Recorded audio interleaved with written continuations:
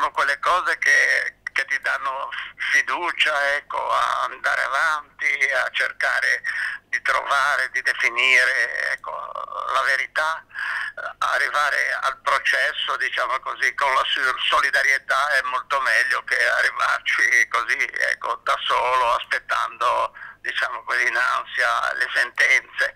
Bruno Rossi combatte da quasi dieci anni per la morte della figlia Martina, la ventenne precipitata dal sesto piano di un hotel di Palma di Mallorca all'alba del 3 agosto 2011 mentre era in vacanza con delle amiche.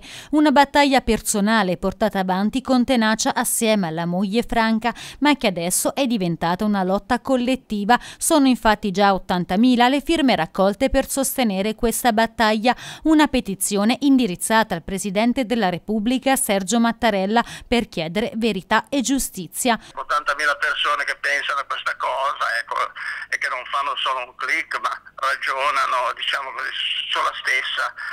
Ecco, niente, mi dà, ecco, mi dà fiducia per, per arrivare adesso a questa sentenza il 21 di gennaio.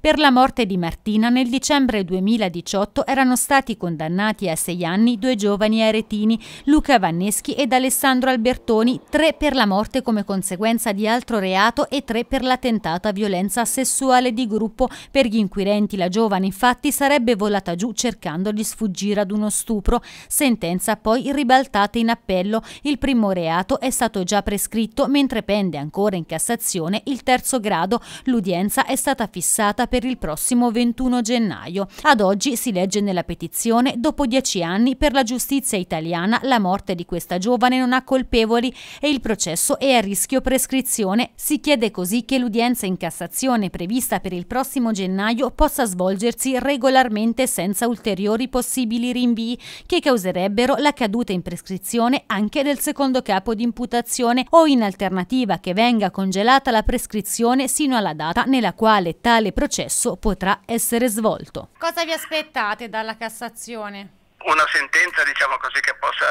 ecco, ripristinare la verità in un modo o nell'altro, che ti possa aiutare a trovare percorsi, diciamo così, ecco, verso la verità.